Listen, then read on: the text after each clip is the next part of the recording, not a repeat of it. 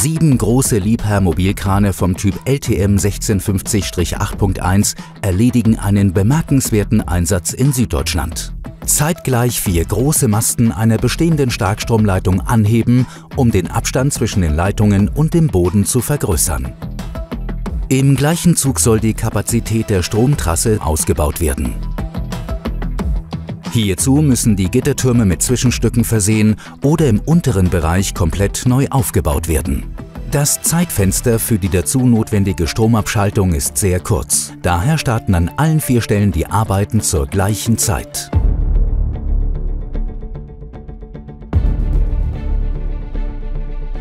Auf drei Baustellen werden die 700-Tonnen-Krane paarweise eingesetzt, um die nötige Hubkraft aufzubringen.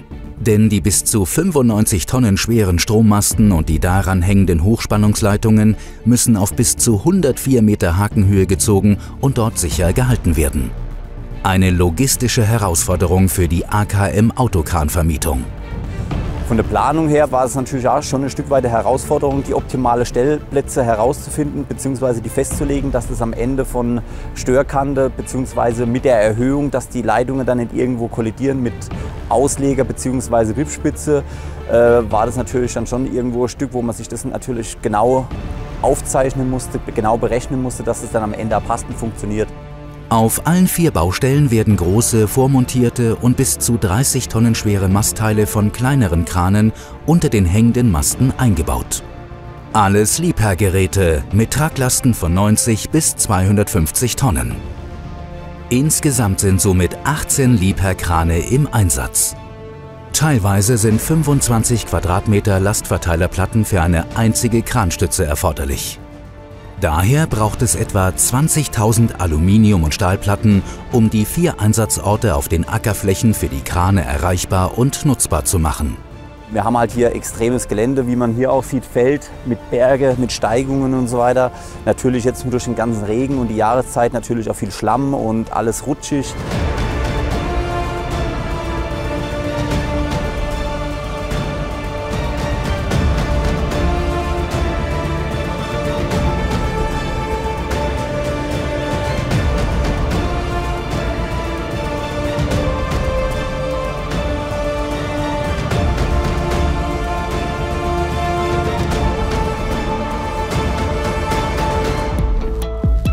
Während an zwei Baustellen die Masten schon abgesenkt und mit dem neuen Unterbau verschraubt werden, müssen an den beiden anderen Baustellen Mast und Leitungen über Nacht in der Höhe gehalten werden.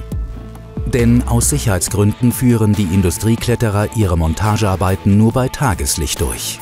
Am nächsten Morgen wartet dann eine ganz andere Herausforderung auf das Team. Dichter Bodennebel erschwert die Sicht.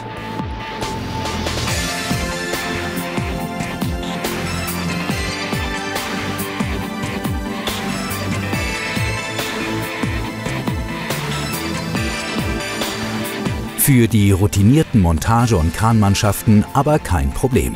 Alles läuft nach Zeitplan.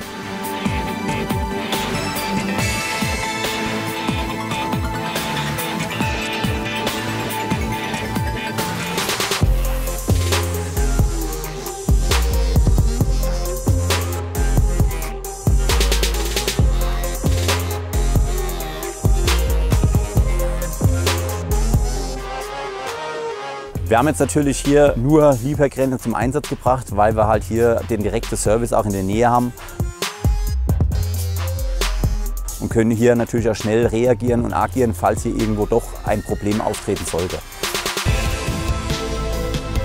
Deswegen war das dann gewünscht, dass hier dann nur Geräte zum Einsatz kommen, wo auch garantiert ist, dass innerhalb von kürzester Zeit ein Service hier vor Ort stattfinden kann, dass das hier halt nicht zum Stillstand kommt bzw. zum Abbruch.